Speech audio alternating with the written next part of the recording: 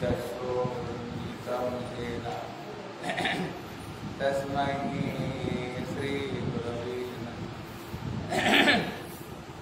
गुरवे गौरचन्द्राय राधिकाय तदालये कृष्णाय कृष्णभक्ताय तद्भक्ताय नमो नमः वाञ्छाकल्पतरुभ्यश्च कृपा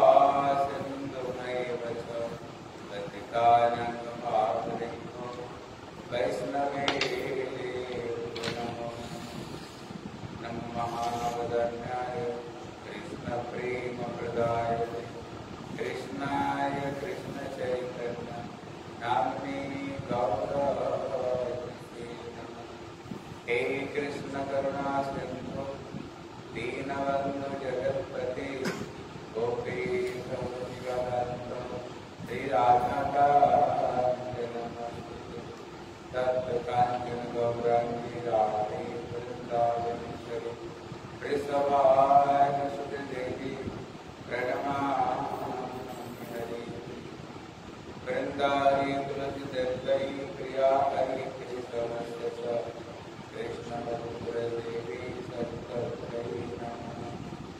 श्री कृष्ण चैतन्य प्रभु श्री अद्वैत गदाधर शिवासादि गौर भक्त वृंद बोल हरे कृष्ण हरे कृष्ण कृष्ण कृष्ण हरे हरे हरे राम हरे राम राम राम बल हरे कृष्ण हरे कृष्ण कृष्ण कृष्ण हरे हरे हरे राम हरे राम राम राम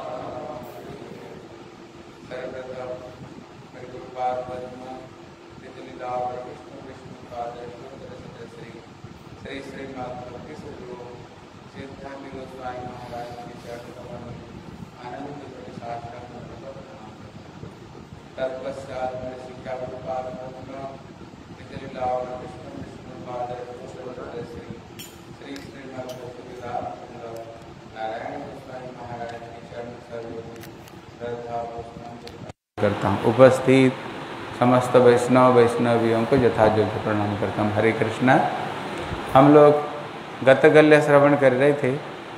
श्री प्रेमदास बाबा जी कहाँ पर भजन करते थे?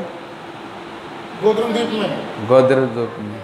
और जो गोद्रम द्वीप वृंदावन का कौन स्थान? हाँ? स्थान था उससे कुछ दूरी पर करते हाँ। दूर में लेकिन गोद्रमदीप वृंदा वृंदावन से अभिन्न वृंदावन से कौन सा स्थान से गोद्र नंदगांव। नंदगांव। और वहीं पर रहकर भजन करते थे। कहते उनका भजन प्रणाली कैसे था? मतलब दिन में दो लाख हरिनाम करते थे। अगर हम लोग कितना करते हैं? इसलिए एक लाख में ऐसा लगता है जैसे पूरा एक दिन चला गया। और क्या? पूरा दिन चले जाता है। इसलिए सुबह तीन बजे से लेकर रात के ग्यारह बजे दो सुबह दो से रात के ग्यारह बज हाँ। एक लाख हरिनाम सवा दो तुम्हें तुमने किया? और अब आप उस समय?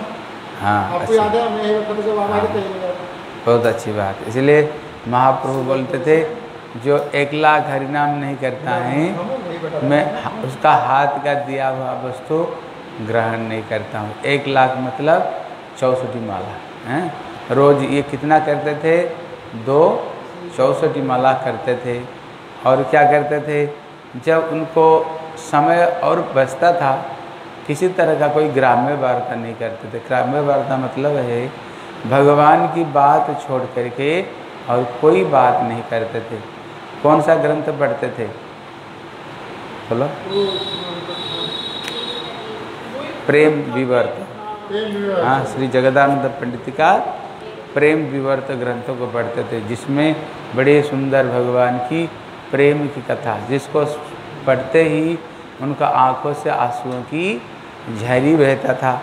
और जितने अड़ोसी पड़ोसी में और जितने भक्त लोग रहते थे, वो भी आ करके बैठ करके कथा सुनते थे। क्योंकि एक तो प्रेम विवर्त बड़े सुंदर ग्रंथ है, हैं? और जो दूसरा है, जब बाबा जी महाराज पढ़ते थे, बड़ी सुंदर, सुसुर, सुसुलला कंठ से पढ़ते थे। इसलिए भक्त लोग आकर के बैठी करके वो ग्रंथों को सब के सब श्रवण करते थे। और प्रेम में सब के सब गदगद हो जाते थे।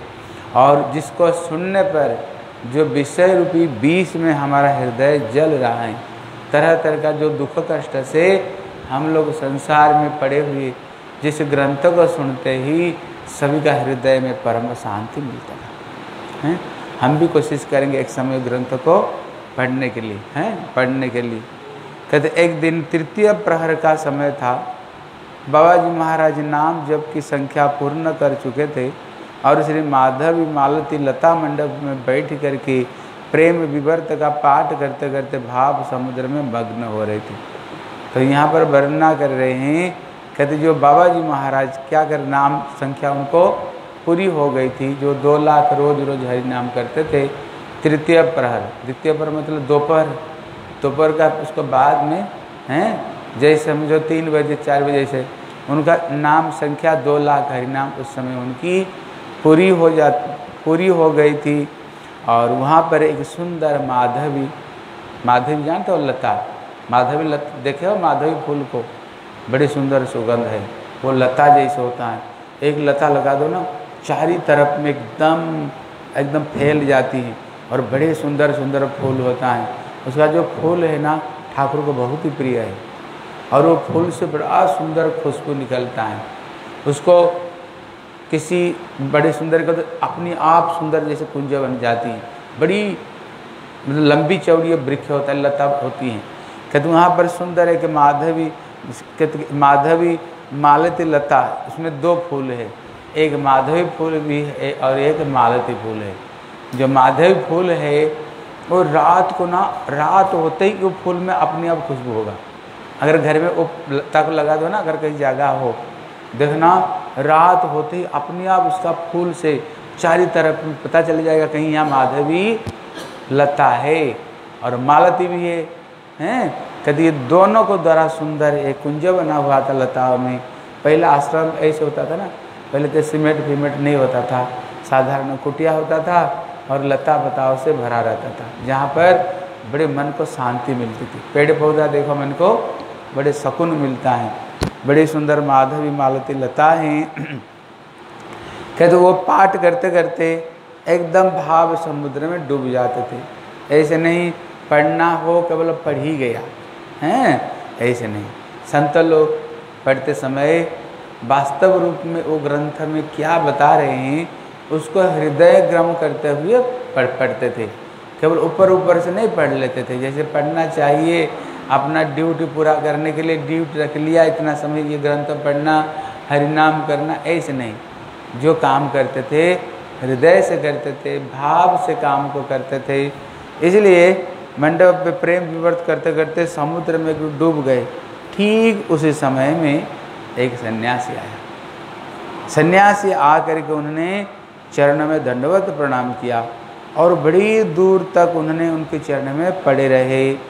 कहते बाबा जी महाराज पहले भावानंद में मस्त थे किंतु थोड़ी देर में ही जब उनकी बाह्य स्फूर्ति आई पहले तो भाव में डूबे हुए थे लेकिन धीरे धीरे धीरे धीरे जब उनको बाह्य ज्ञान आई उन्होंने क्या देखा कहते एक सन्यासी साष्टांग दंडवत कर, करे हुए है हैं? एक सन्यासी को देखा अपने को तृण से अधिक दीनहीन जानकर उन्होंने सन्यासी के सामने पकड़ करके, सन्यासी को सामने पकड़ करके, हा, चैतन्य, हा, नित्यानंद, इस अधम के ऊपर कृपा करो। कह कह कर रोना आरंभ किया। क्रमशः सन्यासी ने उनसे कहा, प्रभु, मैं अत्यंत दीनहीन हूँ। आप मेरी विडम्बना क्यों कर रहे हो? यहाँ पर जब श्री बाबा जी महाराज का आँख खोला, जब उनने सन्यासी को देखा, स्वाभाविक रूप में इनकी जो भावना है जो सामने कोई एक सन्यासी प्रणाम कर रहे हैं, लेकिन भक्तों के अंदर में भावना क्या रहती है, हैं? कि जैसे किसी पेड़ में कोई फल आ जाए, देखना वो पेड़ अपने आप झुक जाती है। वो पेड़ कभी सर खड़ा नहीं करता है।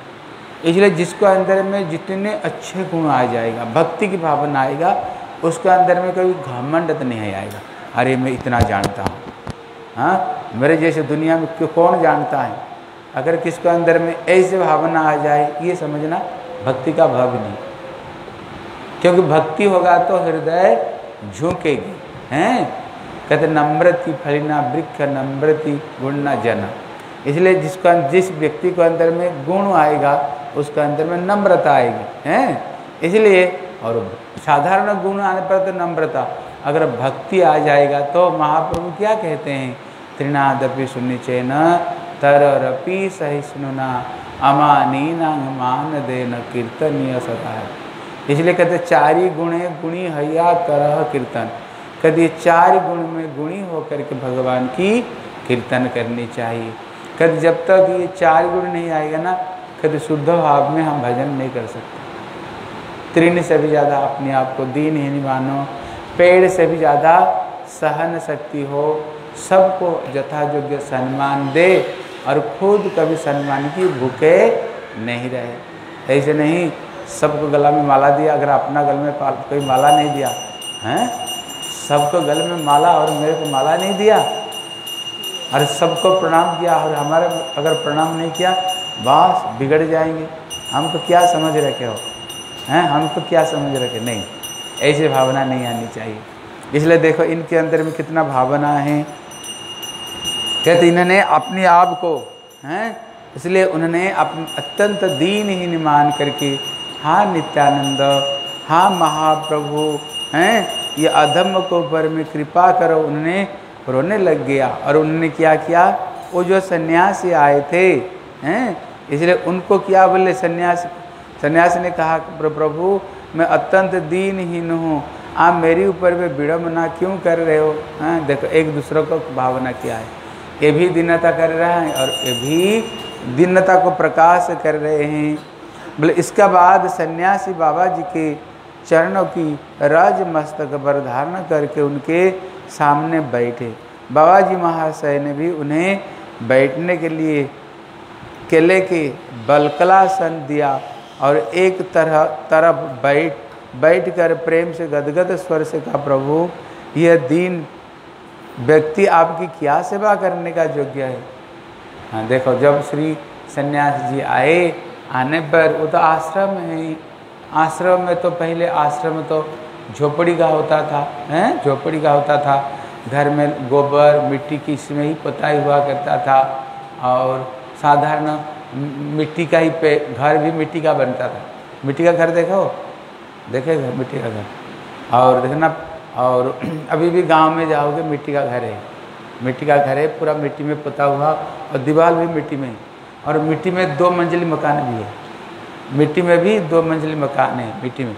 और ऐसे है ना, उसको मिट्टी में बना हुआ, लेकिन ये ईट से भी ज़्यादा कड़क। उसके ऊपर में मिट्टी पुत्ते पुत्ते इतने इतने मज़बूत बन गया, बने हुआ। और वो जो झोपड़ी का घर है गर्मी का समय में गर्मी नहीं होगा जैसे यहाँ गर्मी होता है, गर्मी नहीं होगा क्यों? वो भूस भूस का घर है ना, उसको अंदर में वो ये नहीं जाएगा गर्मी, और जो मिट्टी का पेड़ ये होने का नाते दीवार होने का नाते, जैसे ये सीमेंट गर्म हो जाता है, उसमें गर्म नहीं होगा। है? अभी हम लोग जब गाँव में प्रचार करने के लिए जाते हैं, वो देखते हैं। अभी आश्रम था, और आश्रम में तो इतने ऐश्वर्य था ही नहीं इसलिए उनको कौन सा आसन बैठने के लिए दिया? बलकल। केले का जो पता है ना केले का केले का केले का जो छिलका होता है उसको सुखा करके उसमें ही आसन बन जाती हैं। ऐसे आसन व कुश का आसन होता था उनको बैठने के लिए उसी आसन में बैठने के लिए दिए और बड़े दीनहीन होकर के तब बाबा जी महाराज कहते हैं आपको हम क्या सेवा कर सकते हैं? हाँ बोलो अब हम आपकी क्या सेवा कर सकते हैं? कहते, अपना कमंडल रखते हुए हाथ जोड़कर सन्यास ने कहा, प्रभु, मैं बड़ा ही भाग्यहीन हूँ। हैं? वो सन्यासी कह रहे, मैं बड़ा भाग्यहीन हूँ। बोले, क्यों? पहले जितने देखो कितना बड़ा विद्वान वो है। पहले सांख्य, पातंजल, न्याय वैशेषिक उत्तर मीमांसा, पूर्व मीमांसा और जितने उपनिषद है, जितने वेदांत है हैं? और काशी, ये जितने पुण्य तीर्थ में अच्छी तरह से अध्ययन करके शास्त्र तात्पर्य और वितर्क में अपना बहुत सा समय बिताया। मतलब ऐसे कोई शास्त्र नहीं, उनने जो शास्त्र ग्रंथों को नहीं पढ़ लिया है सब समस्त शास्त्र ग्रंथ। लेकिन पढ़ करके जीवन में क्या किया? बोले केवल दूसरों को परास्त कैसे करेंगे? दूसरों को साथ में तर्क, वितर्क, केवल यही किया है। और हमने कुछ भी नहीं किया। केवल बने तर्क वितर्क में ही और सन्यासी बने हुए थे। लेकिन वो कौन सन्यासी? भक्त सन्यासी नहीं। ये मायावादी सन्यासी। मायावादी सन्यासी किसको कहते हैं? जो अपने आप को भगवान मानने वाले हैं। इसलिए जैसे हम लोग कहते ना, राधे राधे, हरे कृष्णा, दंडवत प्रभु जी, वो अगर दूसरों को देखेंगे ना, ऐसे नहीं बोलेंगे। क्या बोलेंगे? नमो नारायण। मतलब तू भी नारायण और मैं भी नारायण। तू भी नारायण हो मैं दोनों ही हम नारायण हैं नम नारायण बोलेंगे, हैं? क्योंकि बोलेंगे, तुम ही तो ब्रह्मा और मैं ही तो ब्रह्मा हूँ, हैं? क्योंकि ये शंकराचार्य का ये फिलोसफी है, शंकराचार्य का ये फिलोसफी है। कभी ये शंकराचार्य मतावलंबी केवल तर्क वितर्क में ही अपना समय बिताया। लगभग, कद बारह वर्ष पूर्व मैंने सच्चिदानंद स्वामी पाद के निकट दंड भी ग्रहण किया। कहते मैंने बारह साल तक मैंने सन्यास ग्रहण किया। बोले, किससे? बोले, सच्चिदानंद सरस्वती। कहते ये मायावादियों का ये सच्चिदानंद जो नाम है, वो उनका नाम है। और जो उपाधि सरस्वती, जैसे हमारे, जैसे तीर्थ महाराज, माधव महाराज, पूरी महाराज इस है ना, दस नामी सन्यासी। 108 सन्यासियों का नाम है। 108 सन्यासियों का नाम, जैसे मेरा नाम श्रीधर है किसका नाम गोविंद है किसका नाम ये सब है। लेकिन इसमें आठ विशेष सन्यासी नहीं दस हैं दस नामी सन्यासी उसमें विशेष। उसको बाद में फिर अलग अलग अलग अलग नाम। कहते जो दसनामी सन्यास में एक है सरस्वती। जैसे हमारे भक्ति सिद्धांत तो सरस्वती गोस्वामी प्रभुपात है हैं सरस्वती इसमें उस नाम को ग्रहण करते हैं। कहते लेकिन उन्होंने जैसे हम लोगों का जैसे श्रीधर भक्ति वेदांत तो, भक्ति स्वरूप भक्ति विवेक भक्ति शेखर भक्ति सर्वस्व भक्ति विचार ये सब हमारे भक्ति जगत में नाम। लेकिन उनमें जो नाम देते हैं बोले सचिदानंद उनको जो सन्यास का जो मायावादी नाम है सच्चिदानंद मतलब भगवान जैसे सच्चिद आनंद है हम भी सच्चिद आनंद है। इसलिए कहते उनका ना अगर किसको उनको नाम हमको पत, नाम सुनते ही हमें अपने आप पता चल जाता है ये क्या भक्त सन्यासी? ना ये मायावादी सन्यासी। मायावादी मतलब जो भगवान को जो निराकार, निर्विशेष से ब्रह्म, ज्योति मानते हैं और क्या सोचते हैं? जीव पहले शिव था, जीव भगवान पहले था।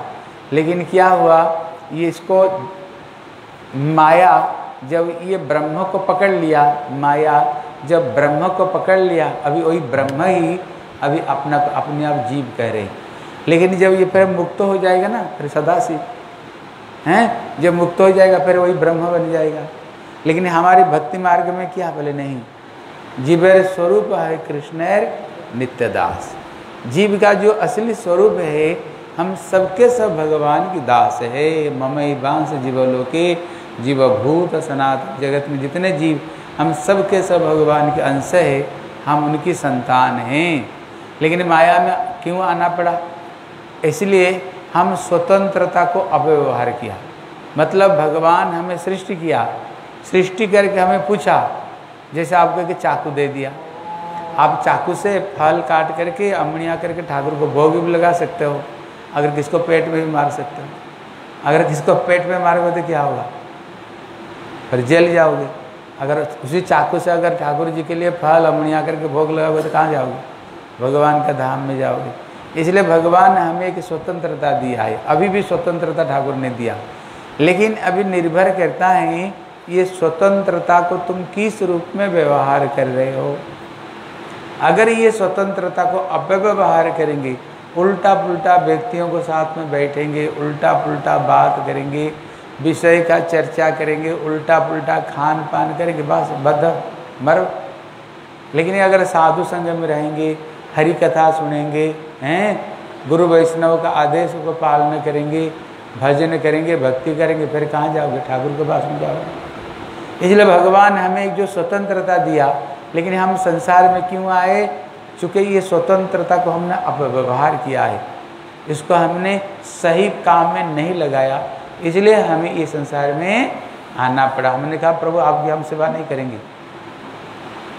जी, भगवान ने से पूछा, बताओ, क्या करोगे? मेरी सेवा करोगे ना माया की? बोले माया की सेवा करेंगे। बोले जा देख ले। एक बार जाकर देख ले।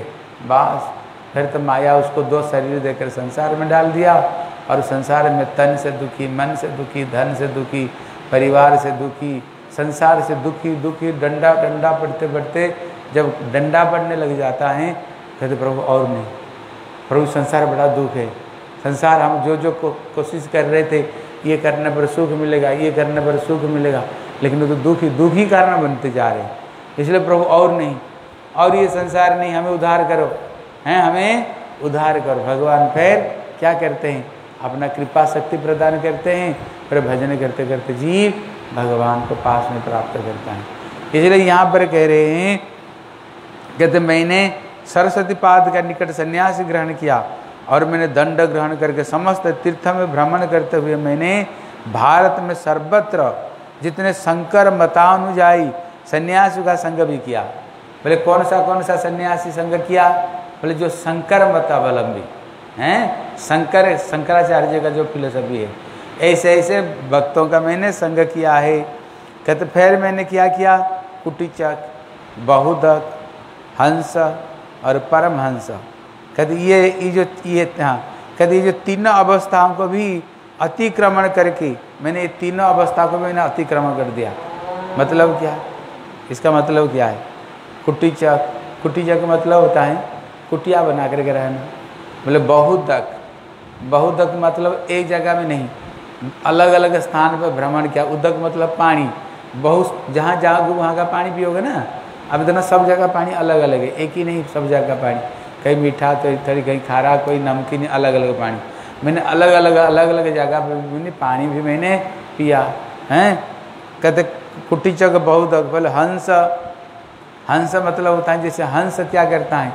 दूध दो, वो दूध दूध को लेकर के पानी पानी छोड़ देता है। इस, उसी तरह मैंने जीवन में अच्छे चीज़ को ग्रहण किया और गंदी चीज़ को मैंने परित्याग भी किया। कहते, ये तीनों अवस्था को अतिक्रमण करते हुए कुछ दिन मैंने परमहंस हैं? एक हंस है। और एक उसको ऊपर में भी परमहंस है। इसलिए कहती ये परमहंस पद को मैंने प्राप्त किया। और मैंने क्या करता था? वाराणसी में मौल, मौन अवलंबन करते हुए क्या करता था? कहते अहम ब्रह्मास्मि। वो लोग चार वेद का, मंत्र को चार वेद को बोलते हैं। अहम ब्रह्मास्मि। मतलब मैं स्वयं ब्रह्म हूँ, मैं ही भगवान हूँ, हैं? मैं ही ब्रह्म हूँ, अहम ब्रह्मास्मि अहम ब्रह्मास्मि करते हैं। हाँ और क्या? बोले, कहते कहते तत्वमसी बोले, तुम वही हो मतलब तू ही भगवान हो, हैं? और क्या है? बोले प्रज्ञानाम ब्रह्म, प्रज्ञा प्रज्ञा ही ब्रह्म है, हैं?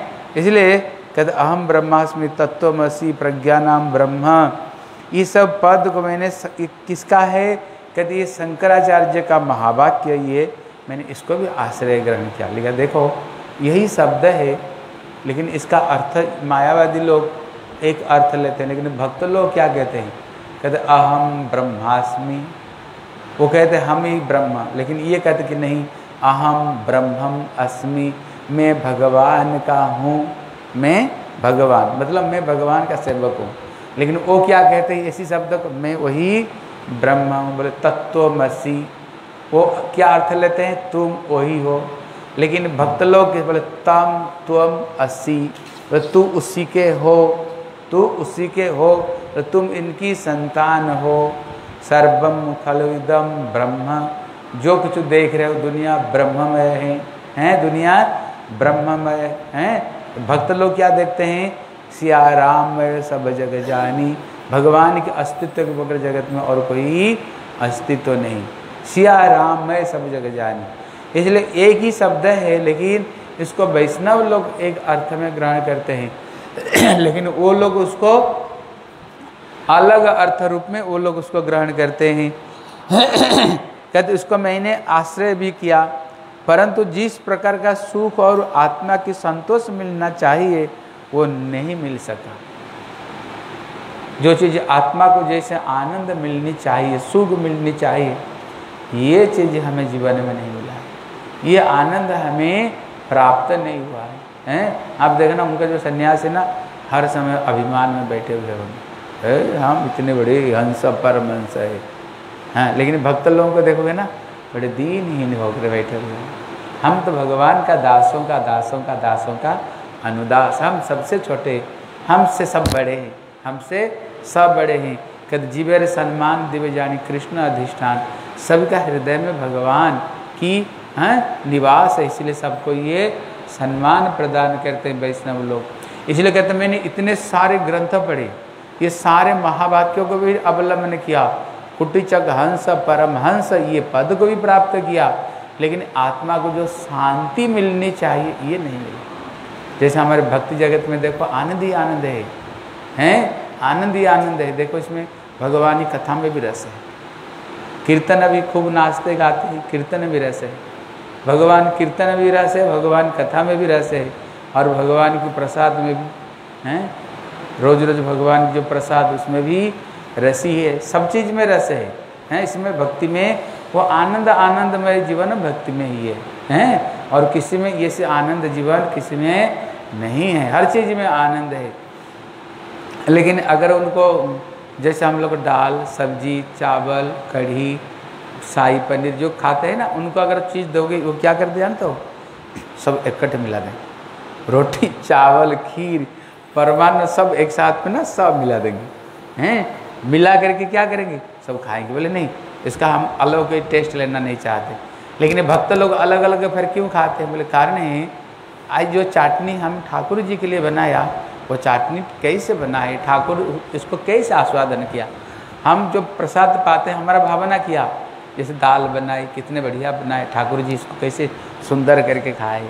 जैसे आज खीर बनाई, ठाकुर जी खीर को कितने खुश होकर खाए होंगे खीर को? इतने बढ़िया बनाए, हैं? और हमारे चिराग प्रभु पाना बनाते हैं, क्या बनाते हैं? सत्तू की ये बनाते हैं। ठाकुर जी कैसे कैसे ये चीज़ को ठाकुर जी कैसे भोजन करते हैं? इसलिए कहते ये भक्त लोगों का जो भावना है भगवान, कैसे कैसे चीज़ को पाए? हैं? अगर आज कुछ कमी रहा तो कल हम और बढ़िया से बनाएँगे। लेकिन वो लोग क्या सबको इकट्ठे खीर को, चटनी को, चावल को और सब्ज़ी को ना सब इकट्ठे कर देंगे। इकट्ठे करके बोले, कोई आस्वादन नहीं आनी चाहिए। उनको अगर संदेश भी खाएँगे ना, संदेश मतलब मिठाई। वो संदेश भी खाएँगे, क्या समझ करके? बोले, कौआ की बिष्टा, कौआ की पट्टी, टाटी, यही सोच कर खाएँगे। बोले, किसी चीज़ में आसक्ति नहीं हो जाए। लेकिन भक्तों का ऐसे भावना नहीं है। भक्त का भावना क्या? हम जब हम प्रसाद पाते हैं ना, हम जय ध्वनि देते हैं, महाप्रसादे गोविंदे, नाम ब्रह्मणे वैष्णवे, सल्प पुण्यंग बतांग राजन, विश्वास नहीं बजाए थे ये जय ध्वनि देते हैं। कहते महाप्रसाद गोविंद, भगवान का नाम और वैष्णव हैं, कि जिसका पुण्य कम पुण्य है, उसको प्रति विश्वास नहीं होता है। जब हम प्रसाद लेते, खाते नहीं, सेवा करते। भगवान का अधरा मृत है। पहले तो कृष्ण खाए, उसके बाद में राधा रानी खाई, उसके बाद में ललिता विशाखा सखियाँ खाए, उसके बाद में हमारी गुरु परंपरा और लास्ट में हमारे गुरुदेव खाए और प्रसाद पा करके हमें अपना अधरा मृत दिया है। इसलिए हम वो अधरामृत को हम पान कर रहे हैं। इसी भाव से हम लोग प्रसादों को, इसी भाव से हम सेवा करनी चाहिए।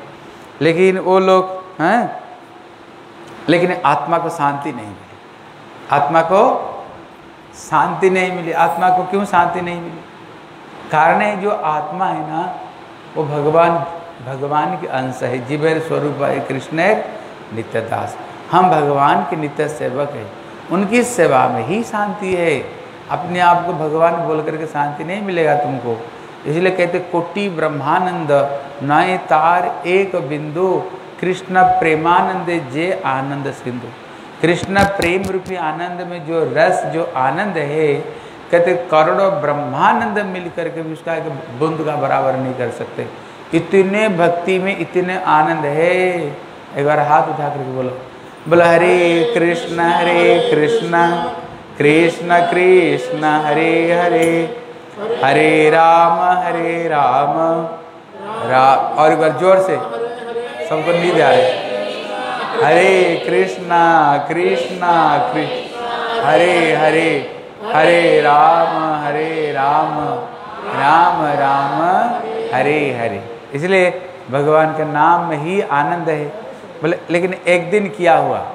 हैं, कहते एक दिन जीवन में उनका परिवर्तन कैसा हुआ? देखो, साधु का दर्शन में कितने, कितना दर्शन पवित्र कर, यही तुम्हारे गुरु साधु का दर्शन से ही गंगा में नहाने पर पवित्र हो, लेकिन संत तो दर्शन से ही कैसे पवित्र हो?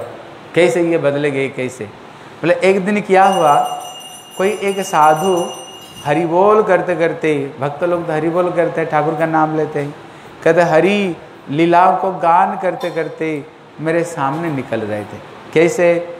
कहते मैंने देखा उनका आँखों से आंसुओं की झरी बह रहा था और आँखियों से झरियों से एकदम उसमें लतपत हो रहे, तरबर हो रहे थे। उनको सारे शरीर पर रोमांच हो रहा था। उनका सारे शरीर में क्या रोमेट, रोंगटे खड़े हुए थे और गदगद स्वर से क्या बोल रहे थे? बोले, श्री कृष्ण चैतन्य प्रभु नित्यानंद। ये नाम को कीर्तन करते हुए श्री अद्वैत गदाधर श्रीवास आदि, श्री गौर भक्त वृंद, हैं? हर भगवान के ये नाम को ले ले करके कीर्तन करते करते करते, कर रहे थे। और जब जा रहे थे ना, प्रभु का नाम से जैसे हम लोग नृत्य करते हैं, निताई गौरांग जय, निताई गौरांग निताई गौरांग जय। ऐसे, जैसे कीर्तन करते हैं भगवान का नाम, और हरे कृष्ण करते करते नृत्य करते हैं, ठीक ऐसे ही कि साधु हैं? नित्यानंद महाप्रभु का नाम को लेते रहते, कीर्तन करते करते क्या कर रहे थे? और उनका जो चरण है ना, जमीनी पर कैसे उठते गिरते हुए, स्खलित स्खलित स्खलित, कभी जैसे गिरने के लिए जा रहे, कभी उठ रहे हैं। ऐसे प्रेम में गदगद हो करके और स्खलित होते, पड़ते थे और पृथ्वी पर गिर पड़ते थे, फिर उठते थे। अभी उनका प्रेम की भाव को कृष्ण भक्ति प्रेम की भाव को देख करके क्या हुआ? उनकी गान को सुन करके मेरे हृदय में एक अनर्वचनीय हैं? औलौकिक एक भाव मेरे हृदय में उत्पन्न हुआ, जिससे मैं आपको निकट वर्णन करने में असमर्थ हूँ। केवल एक वैष्णव को, जैसे सुखदेव गोस्वामी, जैसे चल रहे थे ना, कभी नाच रहे थे, कभी गा रहे थे, कभी रो रहे थे, लमिट पर लौट पुट हो रहे थे, कृष्ण प्रेम में उन्माद होकर जा रहे थे, हैं? कहते उसी तरह, कहते वो जो आनंद मेरे को केवल दर्शन करके जो आनंद मिला है, कहते मैं आपको वर्णन नहीं कर सकता हूँ। भाव दय अवश्य हुआ, तथापि उनके परमहंस बद्ध की मर्यादा रक्षा करने के लिए उन्होंने कुछ भी वार्तालाप नहीं कर सका। देखो इसमें क्या हुआ, वो लोग है ना, बड़ी अभिमान के साथ में चलते हैं। ए, हम परम दंड लेकर के हर समय, उनका हाथ में उसमें दंड देखे हुए दंड लेकर के हे हम परमहंस है हम वही ब्रह्म हैं। बड़ा अभिमान है, हैं? कहते वो, मैं बड़ा अभिमान में था। मैंने हंस, परमहंस, कुटीचक बहुत सबको पार किया, पातंजलि और समस्त शास्त्र ग्रंथों का अध्ययन किया। ए मैंने इतना बड़ा पद हमें मिला है। वो अभिमान में चूर था। इसलिए मैं वो संतों को तो दर्शन किया। लेकिन दर्शन करके मेरा जो अभिमान था ना, अभिमान की वजह से मैंने उनका आदर नहीं कर पाया। उनके साथ में बात बात नहीं कर पाया। लेकिन हृदय में जो आनंद मेरे को हुआ है ना, ये आनंद को मैं वर्णना नहीं कर सकता हूँ। इतने में क्या हुआ? फिर मैंने उसको बाद में अपने आप को धिकार दिया। इतने पढ़ाई, लिखाई, इतना मर्यादा को धिकार है। ये मेरे सारे पद्मर्थ का धिकार है।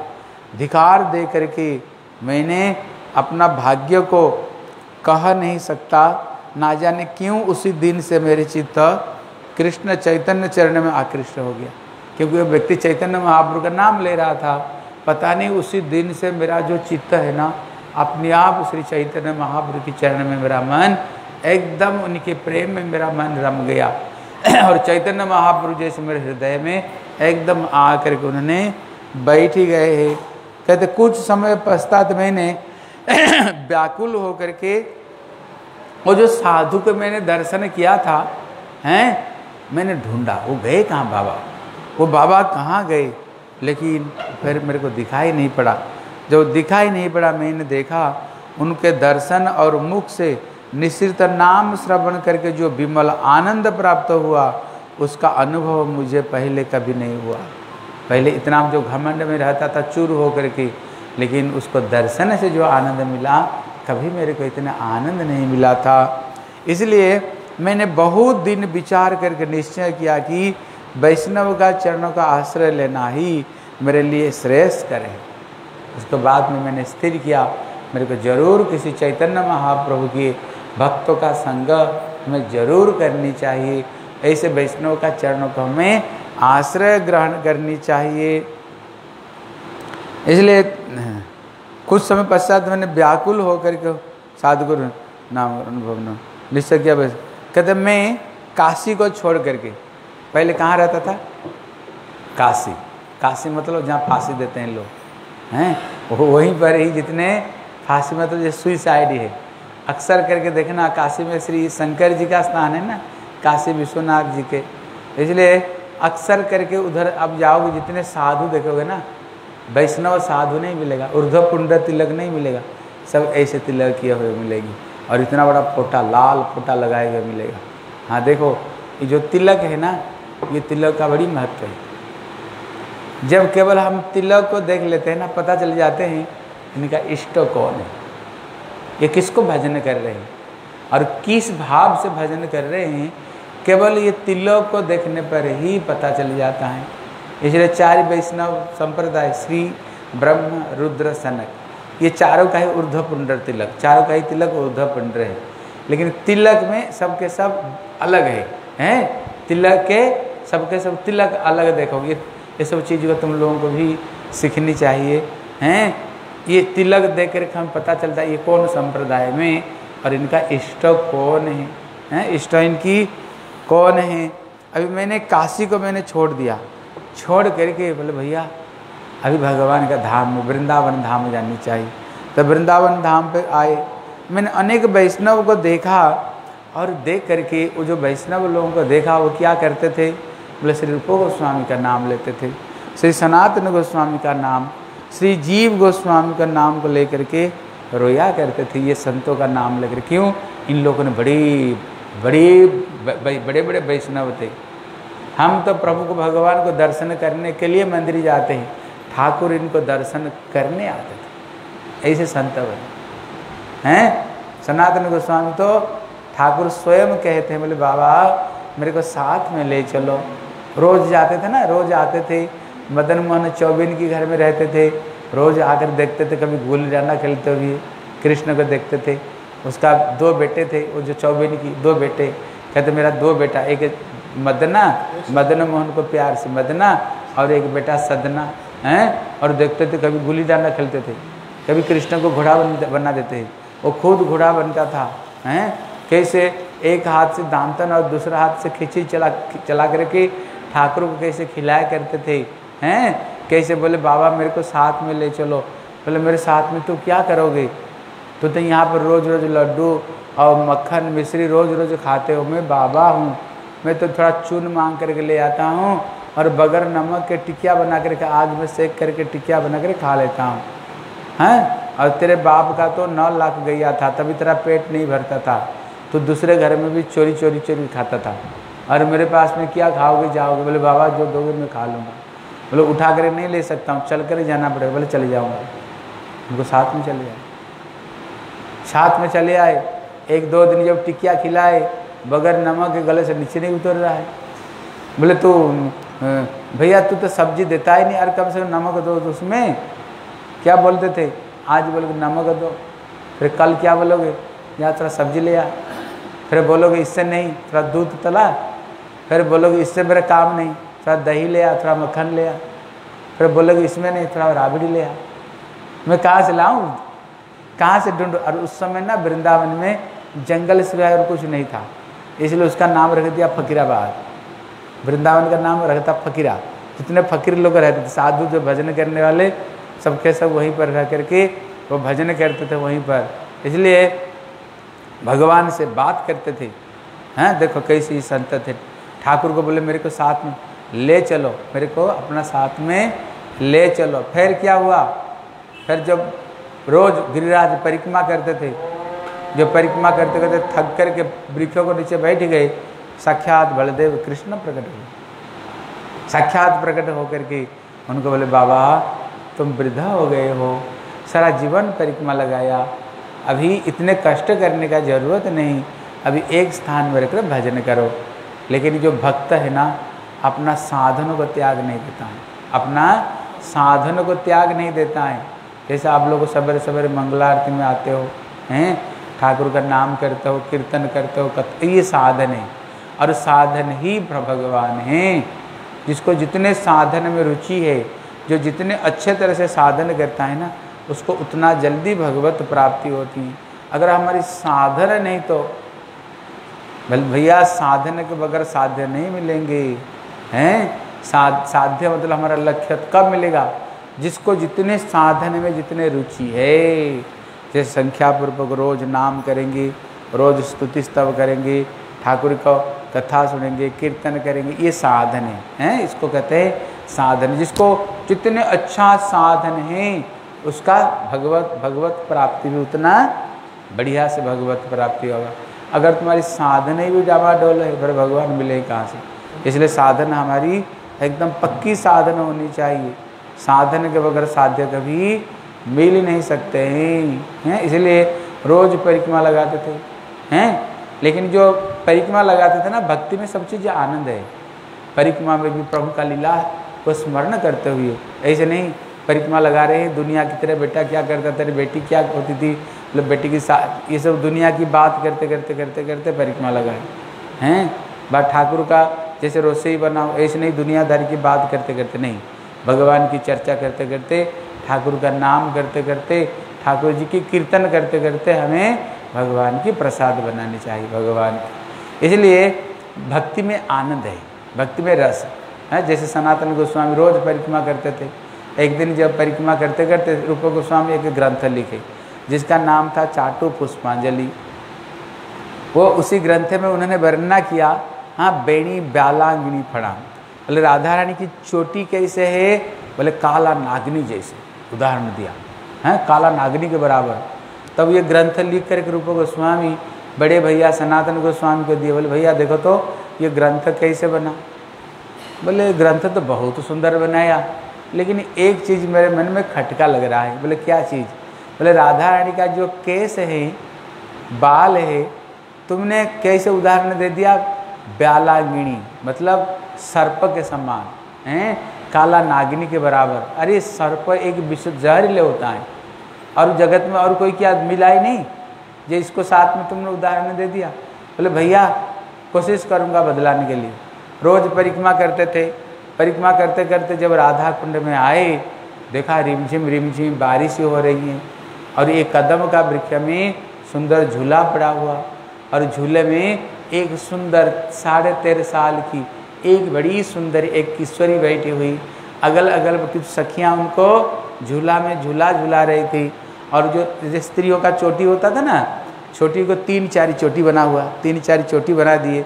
जैसे बैठी हुई झूला को पीछे राधारण का चोटी कैसे है? कहते, सर से लेकर के प्यार तक। उनकी चोटी बड़ी लंबी लंबी केस थी, हैं राधा रानी की। इसलिए उनको देखा जैसे तीन चार चोटी बना दी, जब झूला में बैठ रही थी, बास वो चोटी हिल रहा था। हाँ वो भी चोटी हिल रहा था। लेकिन दूर से कैसे लग रहा था? मानो कोई काला नागिनी सर्प उनका सर के ऊपर चढ़े हुए हैं काटने के लिए। हे बाबा, दूर से सनातन गोस्वामी देखा। देख करके बोले, लाली लाली, तुम लोग को दिख नहीं रहा है। उसको पीछे तीन, चार सांप चढ़े हुए। वो भागे, जब भागे, वो जो बीच में जो बैठी हुई थी उधर राधा रानी थी ना। बाबा को तरफ़ में थोड़ी सी देखे और मीठी मीठी थोड़ा मुस्कुराए। वहाँ से लीला अंतर ध्यान हो तो ये क्या हुआ? मैंने स्वप्न देखा ना, सचमुच से क्या देखा? तो उन्होंने ये क्या? फिर उनको याद आया अरे, रूप गोस्वामी जो चाटु पुष्पांजलि में राधा रानी को जो श्रृंगार को रूप को वर्णना की, उसमें जो बाल को उन्होंने एक काला नागिनी को साथ में बराबर दिया था, मेरे को विश्वास नहीं हुआ ना, राधा रानी मेरी कृपा करके दर्शन दिया। बोले, नहीं, उनने जो लिखे सही लिखे बोले, भैया बदलने का ज़रूरत नहीं। आज तेरी कृपा से राधा रानी के हमें दर्शन मिला है, हैं? दर्शन मिला है। इसलिए यहाँ पर कह रहे हैं हैं? कहते यहाँ पर कह रहे हैं, जो देखा, कहते मैंने देखा जो संत लोग वृंदावन में, ये रूप गोस्वामी, की सनातन गोस्वामी, जीव गोस्वामी, इनको नाम को लेकर के हमने रोते हुए देखा। हाँ रूप गोस्वामी हाँ सनातन गोस्वामी हाँ जीव गोस्वामी, तुम लोग कहाँ चले गए हो? इस चीज़ को देखते हुए हमने रोते हुए इनको, रोते हुए देखा और राधा कृष्ण की लीलाओं का स्मरण करते और श्री नवद्वीप धाम को लेकर के प्रेम से पृथ्वी पर लौट पोट उठाते थे। देखो ये भक्ति की सब लक्षण करते। हाँ कैसे करते थे? राधा कृष्ण की लीला को स्मरण और नवद्वीप धाम, महाप्रभु धाम का नाम को लेकर के ज़मीन पर लौट पोट उठाते थे। क्यों? ये ब्रज रज है। भगवान की ब्रज रज है। ये संतों का ये चरण धूलि लौट पोट उठाते थे। और यह देख सुन करके मेरे भी लालसा नवद्वीप धाम के दर्शन के लिए हुआ। इस चीज़ को देख कर मेरे मन में भी इच्छा हुआ, भैया, मैं भी नवद्वीप धाम जाऊँ। हैं? जब, तब श्री ब्रजधाम की चौरासी क्रोश की परिक्रमा करता हुआ मैंने कई दिन श्री मायापुरी में आया। कहते, पूरा नव, पूरा ब्रजमंडल चौरासी क्रोश को पूरा परिक्रमा लगाया। भगवान की लीला स्थलियों का दर्शन किया।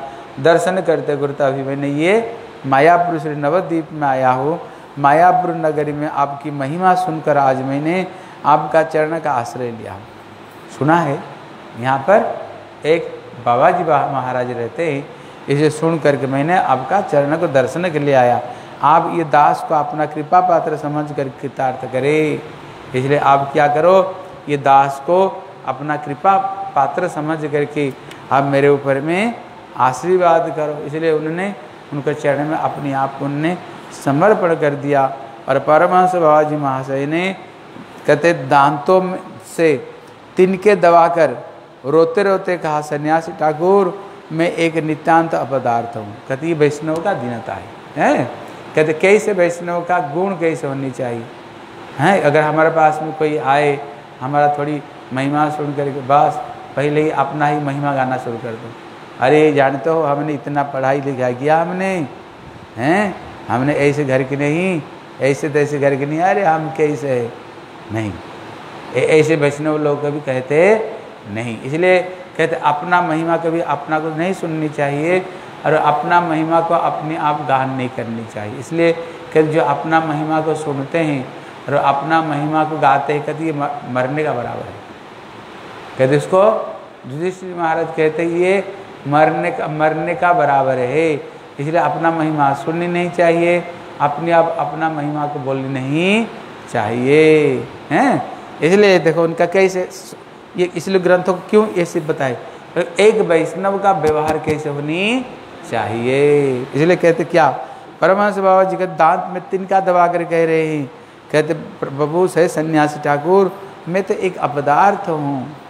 कहते उदर पूर्ति। केवल दिन भर बढ़िया बढ़िया खाएँगे कैसे?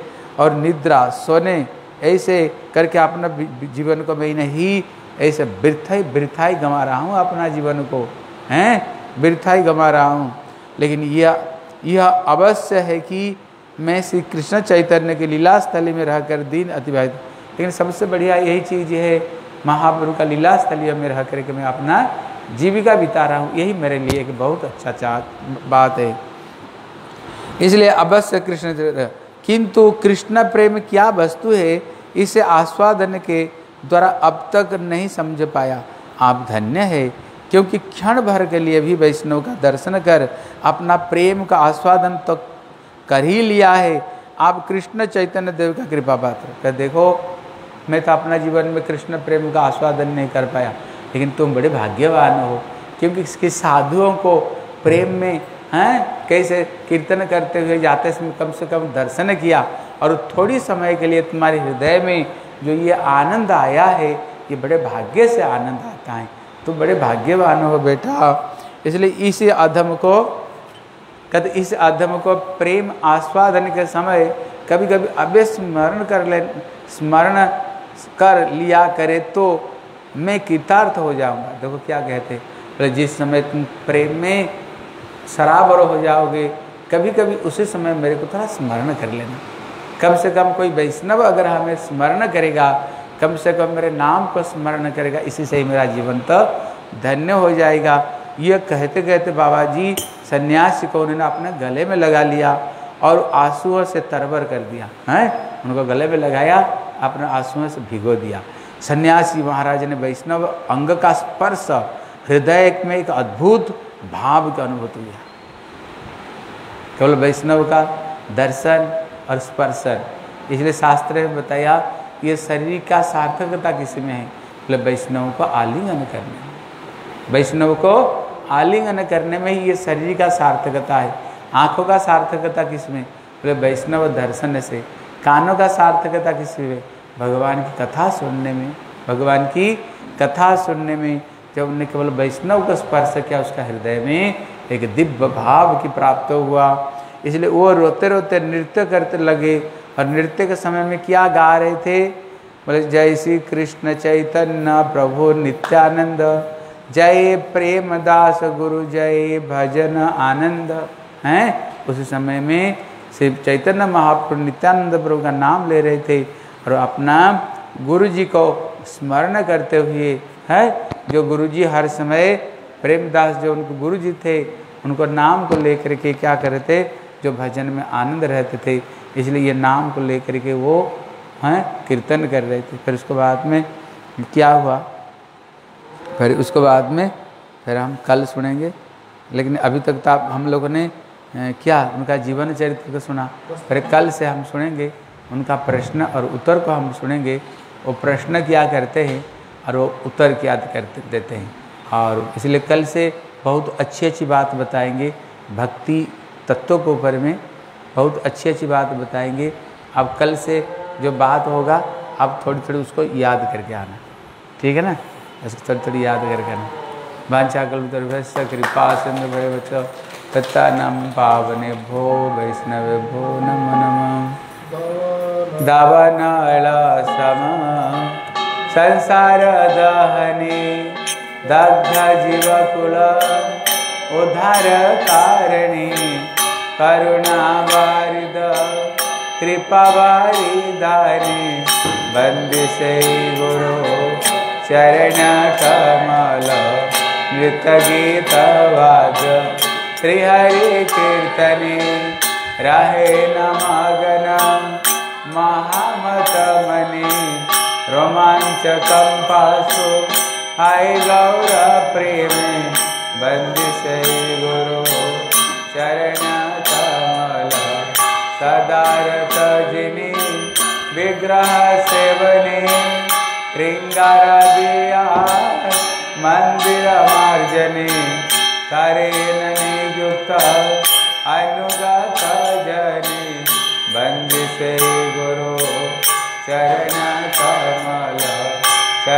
सर्वतुषलेह पेयर समय।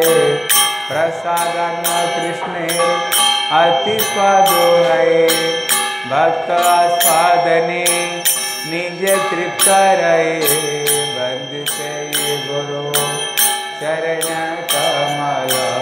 श्री राधा माधव, नाम रूप गुणे, अनंत माधुर्य लीला स्वादने लुब्धचित जिने अन प्रतीक्षणे बंदिसे गुरु चरण कमल, ब्रज जो द्वंद रति संवर्धने, युक्ति कर सखी, सने वृंदावने, अति दक्षता है, प्रियतम गने बंदिसे गुरु चरण कमल। सर्वशास्त्री गाये श्रीहरि स्वरूप, भक्तगण भावे से अनुरूप। किंतु जिनी प्रभु प्रियतमारूप बंदिसे गुरु चरण जहर प्रसाद, कृष्ण कृपा पाई। जार अप्रसादे, अन्न गति नहीं त्रिसंध्या कीर्तिर, स्तव ध्याने भाई। बंदिसे गुरु, चरण कमल। गुरुदेवा अति जत्न करे। ग्रामे मूर्ते बड़े उच्च करी वृंदावन नाथ साक्षात श्री हरि सेवा पाए से वस्तु से विकाल मंदिर से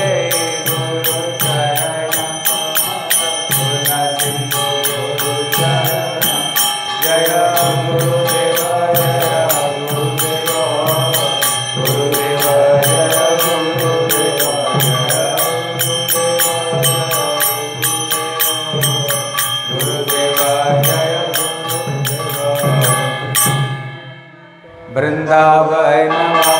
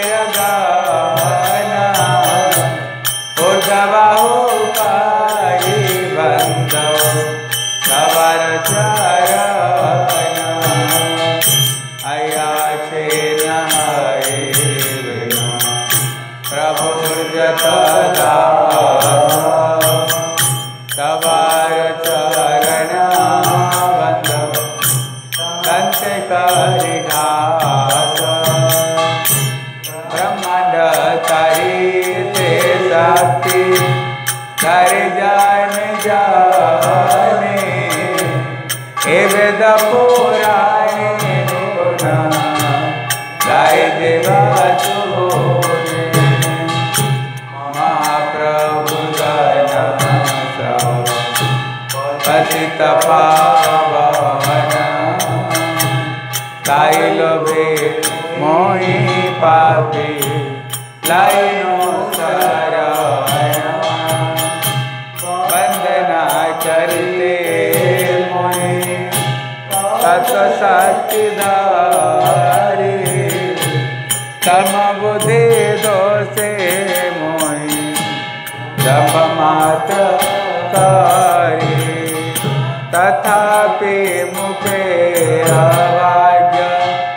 मने उल्लास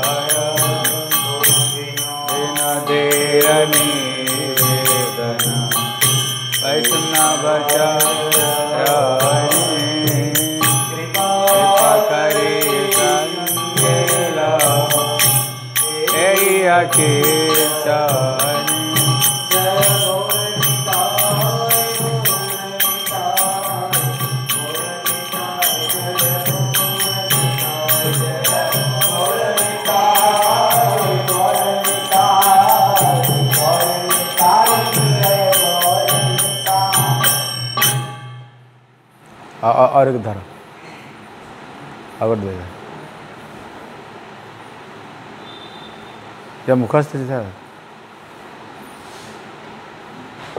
सर्व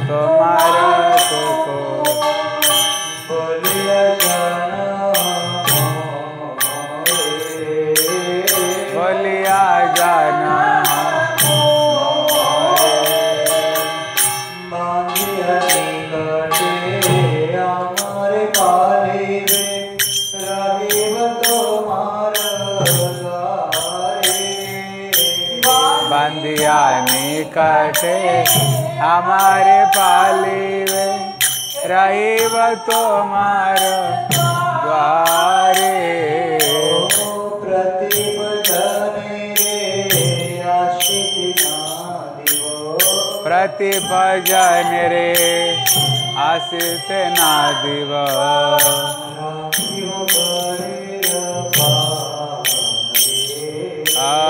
राखी वगड़े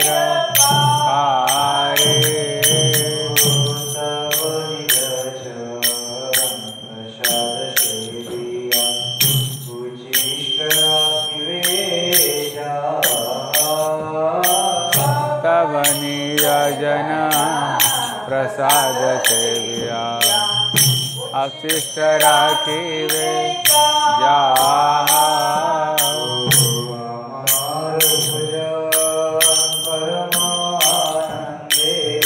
हमार भोजन परमानंदे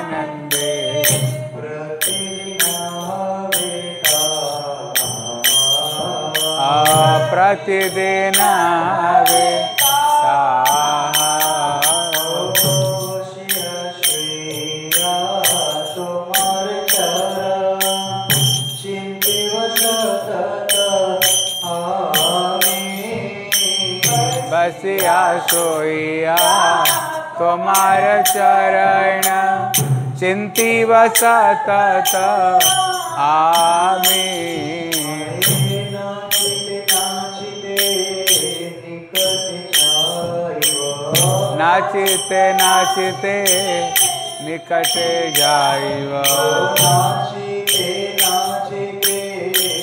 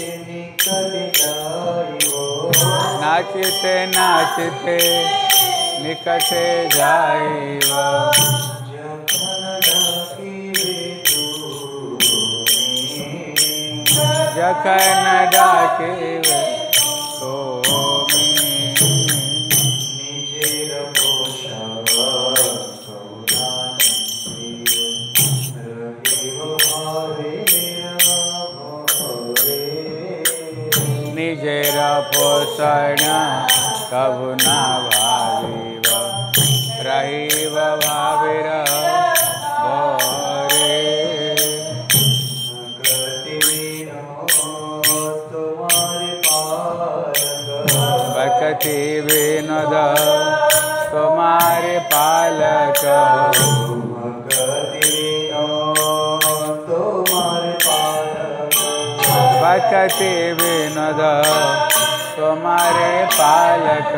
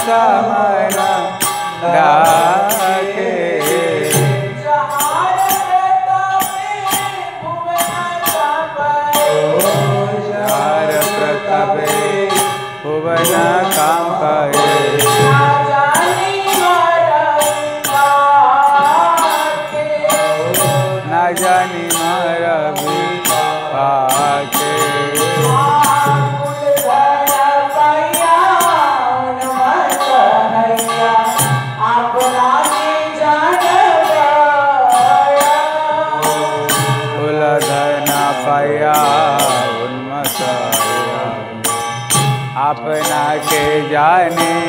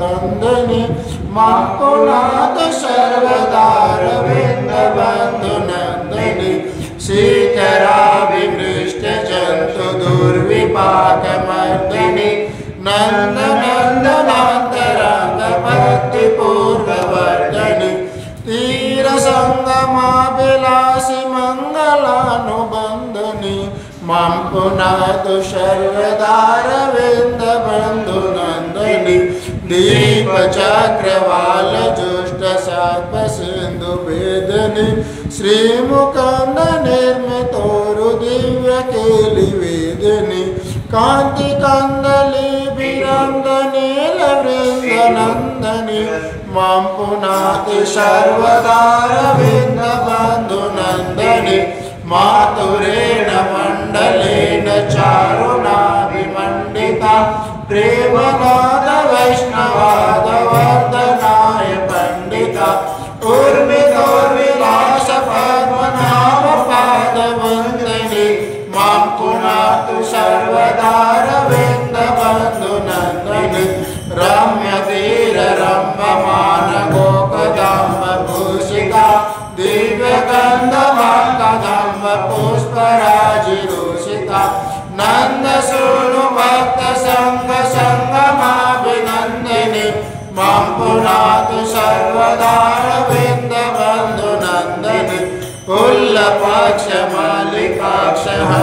लक्ष पूजिता भक्ति